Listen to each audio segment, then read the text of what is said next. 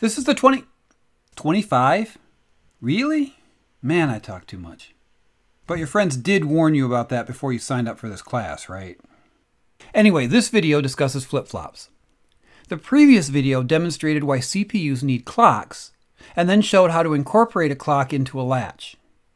But we also saw that a clock latch wasn't sufficient because it was like building a door and then leaving it open 12 hours a day. What we really need is a figurative door that's open just long enough to lock in a new value. There are several ways to build a circuit with this behavior. This video presents an approach called the master-slave flip-flop. The basic idea is to put two D latches back to back, but configured in such a way that they accept new values at opposite times. The idea here is that the potential new values have to go through two doors before affecting any other computations. So I like to draw this analogy. Have you ever been to a zoo where you can go in and pet the animals? The zoo here in Grand Rapids used to have baby goats. To get into the goats, you'd have to go through one door, close it behind you, and then go through a second door. Because both doors were never open at the same time, the goats couldn't escape. So something similar is happening here. So suppose the clock's at 1 and has been at 1 for a while. This part about it being at 1 for a while is important. We'll see that in a minute. The leftmost latch is blocking the input, so its state won't change. The rightmost latch is accepting new input, so in theory, its state could change. But the left flip-flop isn't changing at the moment, so there's nothing to update. Bottom line, the Q won't change as long as the clock remains at 1. Now, when the clock changes to 0, the leftmost latch will now accept new input.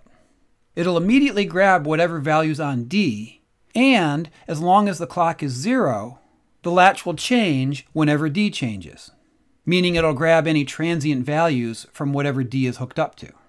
The rightmost latch, on the other hand, is now blocking its input. That means it does not change. It won't take on any of the left latch's updated values, transient or otherwise. Thus, Q still doesn't change. The change happens only when the clock rises from 0 to 1. As I discuss in more detail in a minute, we set the clock's period so that the final value of D is ready when the clock changes from 0 to 1. That means at this point D should not have a transient value on it. So with that in mind, let's see what happens when the clock rises. So again, the leftmost latch blocks its input. But since it had been updating D while the clock was 0, it should now be holding the value that was on D just before the clock changed. The rightmost latch is the one now accepting new values. That means it's going to take on the value of the left latch, which is the value that was on D right before the clock changed. It's at this point that Q changes. But since the leftmost latch is now blocking the input, Q won't change again until the next time the clock rises from 0 to 1. This particular flip-flop is called a rising edge flip-flop because it only changes when the clock rises from 0 to 1. We can also build a falling edge flip-flop that will only change when the clock falls from 1 to 0. In either case, we must make the clock period long enough that the flip-flop's input is guaranteed to have its final value before the flip-flop's triggered. So let's see how we can use this flip-flop in a real circuit. So here I have added this master-slave setup to the feedback loop we've been looking at over the past couple of videos. You can see here the D latch on the left and the D latch on the right. Now the adder has a propagation delay of about 345, so I have set the clock for a cycle time of 400, so enough for the entire propagation delay of the adder, plus a few more gate delays to allow the latches to change. The one difference to note here is this is a falling edge triggered flip-flop the NOT gate is on the rightmost flip-flop, not the leftmost flip-flop. The reason we do that is because with JLS, the clock initially starts at 0 and then rises to 1. So a full clock period is a 0, then a 1. And so at the end of that period, I want the latches to update when the clock falls back down to 0 to start the second period. I have the step set here to 100, so let's see what happens.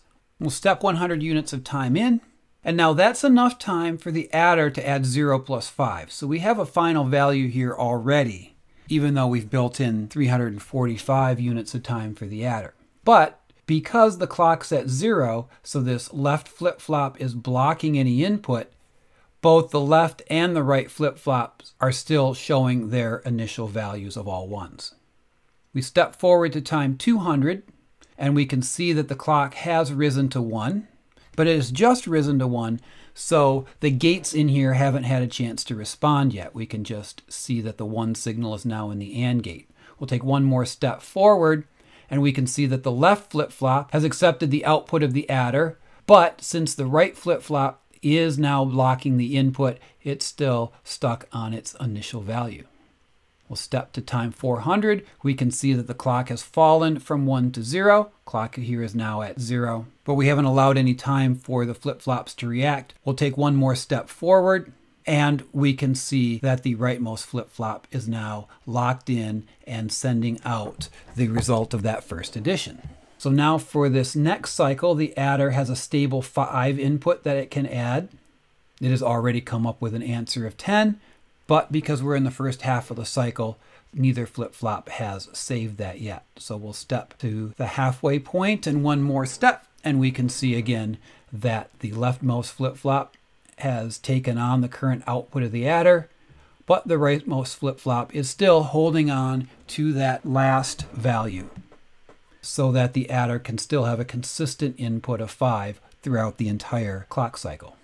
So we come to the falling edge, look forward 1, and now that rightmost latch is taken on the updated sum of 10. Now we can step forward a little bit more until the numbers get big enough that we can start seeing some transient values. So here's one. The adder is now adding 30 plus 5 and 100 steps into the addition, it's producing a transient value of 3. But because we're in the first half of the cycle, this left flip-flop is not taking on that transient value. It's not until the clock rises to 1 that it starts bringing in those values from the adder, by which time it is settled into its final answer of 35. Okay, so I'm going to step forward where the numbers are large enough that the adder will need more than half of the cycle time. So we can see a transient value show up in the left-hand latch.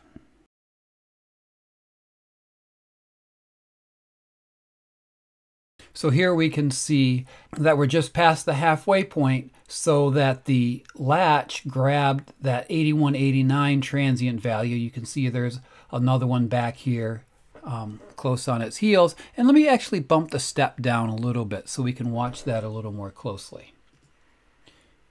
We can see some different transient values get picked up by the left-hand latch until it finally locks into the final answer before the clock changes and passes it on as the output of the flip-flop as a whole. And finally, let's look at one last circuit where we're doing the same thing, not with a master-slave setup, but a single register component. So although we looked at a flip-flop as a pair of D-latches, in practice, we tend to build flip-flops directly from transistors so they work a little bit faster. And so in JLS, this element right here in the top row is the register element, and you can specify how many bits it holds, how many flip-flops are in parallel, and you can choose whether it's positive triggered, negative triggered, or even level triggered. So we can see that register here in place of that master slave setup, and we can go ahead and step through and see that register count up five at a time. So to wrap up, make sure you can sketch a master-slave style flip-flop, both as a rising edge and a falling edge, and be able to explain how it works. In the next video, we'll start using these flip-flops to build sequential circuits.